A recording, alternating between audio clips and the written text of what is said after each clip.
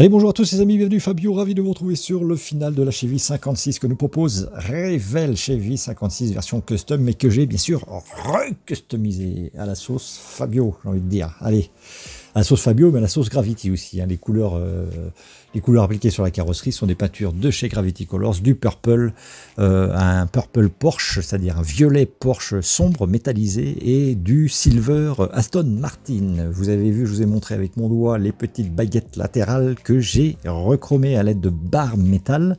Donc c'est vraiment prévu à, cet effet, le, le bar métal. D'ailleurs, sur l'illustration du produit, on a une une Impala, si je ne me trompe pas. Donc voilà, l'illustration euh, est là pour nous montrer que ça sert à recouvrir les petites baguettes chromées que l'on va retrouver sur ces vieilles américaines. Il y en a un peu partout, hein, les contours de vitres également, de pare-brise. Alors, ici, il y a une petite difficulté sur ce véhicule, enfin même sur les autres, hein, je pense que ça va être la même difficulté, c'est que euh, pour tracer, pour venir faire un contour, enfin détourer le, bar métal autour des baguettes, il faut être précis, il faut que ça soit propre, net, euh, des lignes bien droites. Donc là, j'ai pas d'angle vraiment prononcé, j'ai pas d'angle droit. Euh, avec la couche de primeur, les couches de peinture, la couche de vernis, bien sûr au niveau des angles, ça s'arrondit un peu. Comprenez bien ce que je suis en train de vous expliquer, ça s'arrondit, donc après pour venir tracer avec l'exacto, ça se complique. On ne peut pas caler la, lame dans, l'angle et la glisser tout simplement. Euh, donc là, moi j'ai trouvé un petit système de la bande cache de 1 mm que nous propose, euh, c'est Mister Roby qui propose ça. Et bien je m'en sers comme guide, tout simplement. Voilà, j'applique ma petite bande cache et ensuite je viens faire glisser la lame de l'Xacto le long de la bande de cache. Tout simplement. Voilà, ça me sert de guide.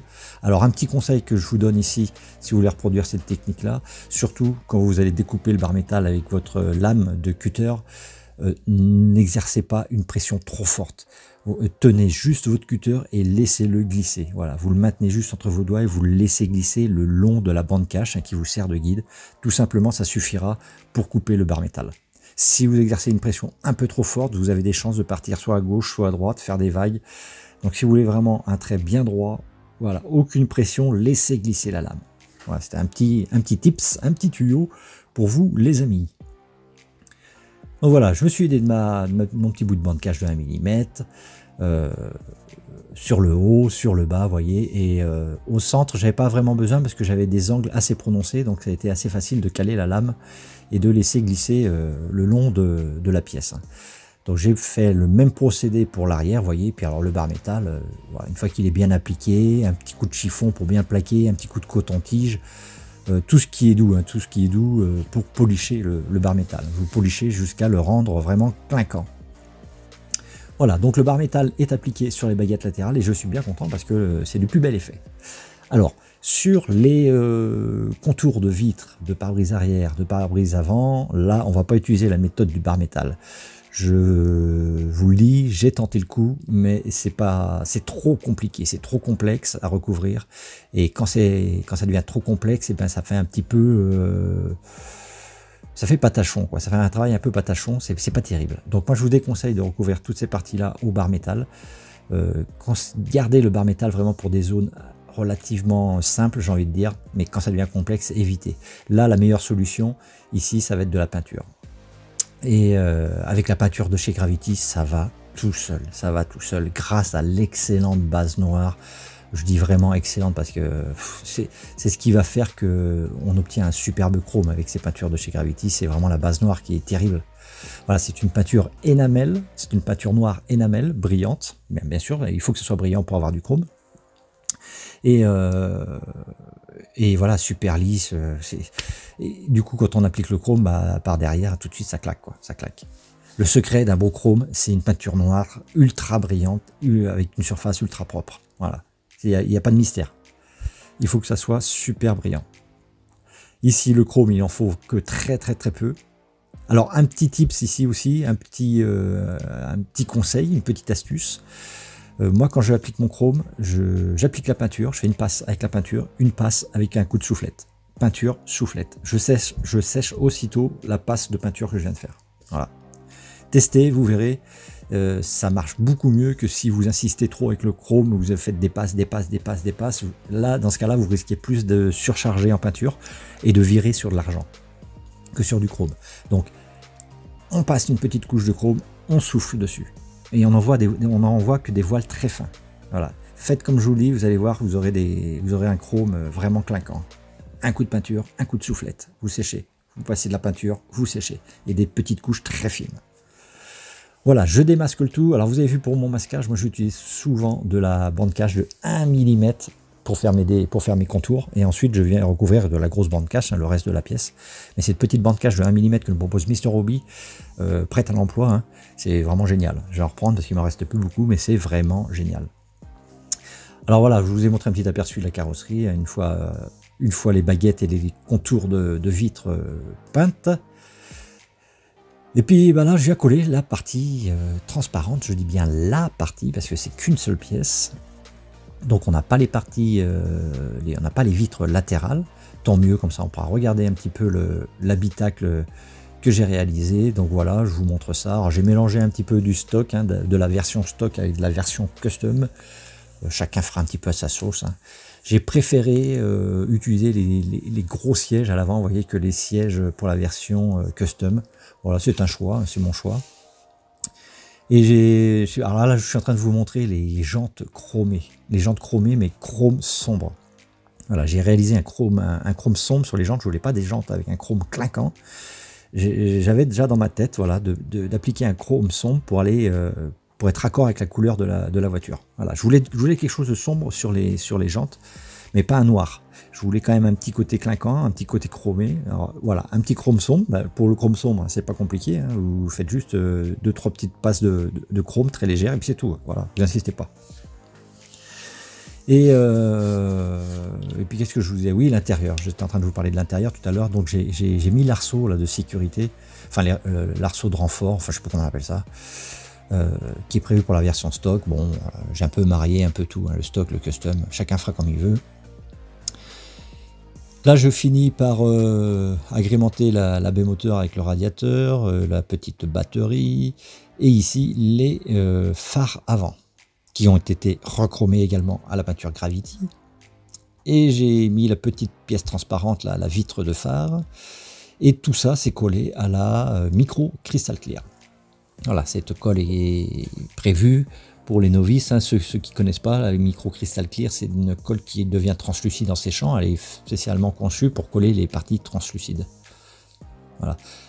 Donc là, c'est pas vraiment une pièce translucide que je colle puisque c'est une pièce qui était chromée, mais je voulais pas utiliser de cyano.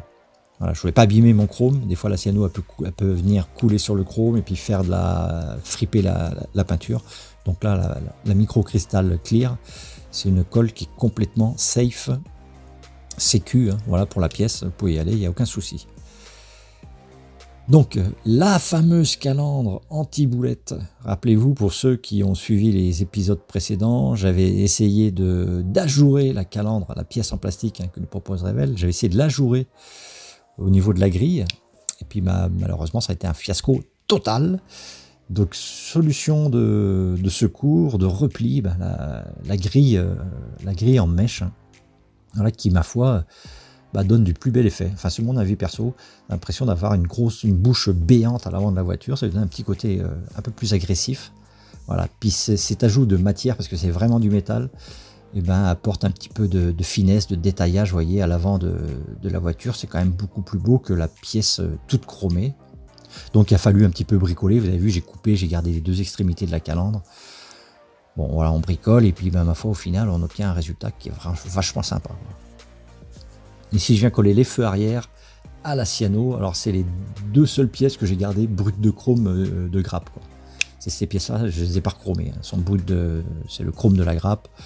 Pour des petites pièces comme ça, je dis bon, bah, ça ira très bien. Là, il y a juste à venir y, y appliquer un petit peu de peinture X27, du rouge translucide propose Tamia, bien sûr, l'excellente nature rouge translucide que tout le monde connaît. Voilà, je viens de l'appliquer sur les, deux phares à l'arrière. Avec un petit pinceau, ça va tout seul. Et puis on va arriver au bout de ce montage. Il me reste plus que le pare-choc arrière à, coller. Donc tous les pare-chocs, pareil, hein, rechromés au Gravity Colors il n'y avait pas le choix sur ce kit-là, il fallait vraiment euh, poncer les, pare-chocs parce qu'il y avait des, lignes de moulage, il y avait du flash, donc euh, passer ça au, blanzer. Et puis euh, poncer et rechromer. Quoi.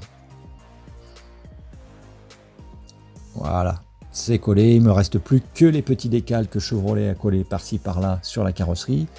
Et puis on va faire le petit tour hein, de la maquette, voilà, terminé, sur le petit plateau tournant. Et bien ma foi, un très joli modèle. Je suis vraiment content de, l'issue finale de cette maquette qui au départ n'était pas très folichonne sur la boîte. Hein. Rappelez-vous quand j'avais fait l'unboxing, je me dit mais bon sang, mais bon sang de bonsoir, pourquoi j'ai acheté cette maquette? Il y a un truc qui m'a poussé à l'acheter, je sais pas. Bon bien sûr, je voulais la faire from the box au début, mais j'ai pas pu rester dans le from the box. Et il toujours que je sorte du droit chemin. Et puis bah voilà ce que j'ai euh, ce que j'ai pondu en gros. Mais, je suis vraiment content parce qu'elle a un super look, cette américaine là. Franchement. Alors, notez le. Comment on appelle ça là La pièce qui est sur le capot, la prise d'air. Je l'ai faite. Euh, c'est volontaire hein, que, la couleur ne soit pas raccord avec le capot. Je l'ai faite en gunmetal. C'est du gunmetal de chaque interactif. Je trouvais sympa euh, quand j'ai appliqué la pièce sur le capot que ça ne soit pas de la même couleur. Voilà. Après, c'est mon goût perso. Je sais pas, ça dénote. J'aimais bien. Donc, je l'ai fait en, en gunmetal. Regardez-moi ça, ces belles jantes, la foncée, chrome foncé, là. Oh, ça va super bien avec la peinture, ça va super bien. Les deux peintures de chez Gravity, donc le Porsche Amethyst Purple et le Aston Martin Silver Birch. Birch. Allez sur le site gravitycolors.com, le site euh, espagnol, vous verrez, vous tapez le nom des, peintures et vous les retrouverez. Si vous voulez bien sûr faire cette livrée-là chez vous, hein, si vous voulez vous acheter cette paquette aussi, voilà, bon, c'est faisable, c'est réalisable. Vous voyez, j'ai pas trop galéré pour la peinture, pour, euh, pour les baguettes chromées, tout ça, ça s'est bien passé, il n'y a aucun souci. Après le moteur, j'ai pas détaillé plus que ça, parce que bon, c'est pas mon domaine à la mécanique, je suis un peu loose là-dedans, donc pour ajouter du câble ici, du câble là, bon, j'ai laissé tel quel. Un petit visu sur l'habitacle, vous voyez, comme il n'y a pas les vitres latérales, et eh ben on peut bien voir l'habitacle. Alors on voit pas grand chose au final. Par contre, on voit bien que les, les, comment, les ceintures de sécurité là, en décalco, ça fait, ça fait bien tâche quand même. Bon, j'aurais peut-être dû m'abstenir. Peut-être pas dû les mettre. Enfin bon, maintenant elles sont collées. Voilà. Et puis les petites inscriptions, la Goodyear sur les P2, c'est vraiment. Non, c'est pas Goodyear, si c'est Goodyear. Ça fait vraiment sympa. Bonne idée également aussi d'avoir rabaissé le QQ. Parce que la version stock, on a le cul qui est vachement plus haut. Donc moi je trouvais ça pas très beau. Donc j'ai rabaissé. Enfin sais pas que j'ai rabaissé, hein. j'ai juste choisi le, les, lames, euh, les lames de suspension pour la version stock. Et puis euh, voilà. Regardez-moi ça, ce pare-choc avant, ce Chrome Gravity, nickel, nickel. Et puis cette grille, cette grille, cette calandre. Voilà. Bon, je suis bien content. Alors du coup, j'ai envie de refaire une américaine.